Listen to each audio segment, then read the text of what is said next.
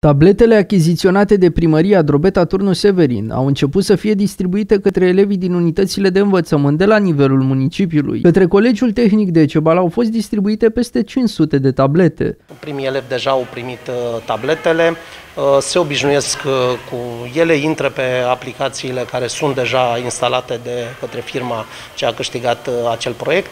Așteptăm să fie conectate la internet și uh, le-am distribuit de acum pentru că valabilitatea cartelei este de, de 2 ani. 2 ani vor avea internet gratuit uh, și vrem să, să folosim învățământul hibrid, desigur, pentru că sperăm uh, să nu mai intrăm în învățământ online, însă e nevoie și cred că asta, asta e partea pozitivă din, uh, din tot ce s-a întâmplat în ultimii doi ani, faptul că trebuie să îmbinăm învățământul fizic de la clasă cu învățământul online și atunci uh, elevii își pot dezvolta mult mai ușor și mai repede competențele în uh, folosirea calculatorului.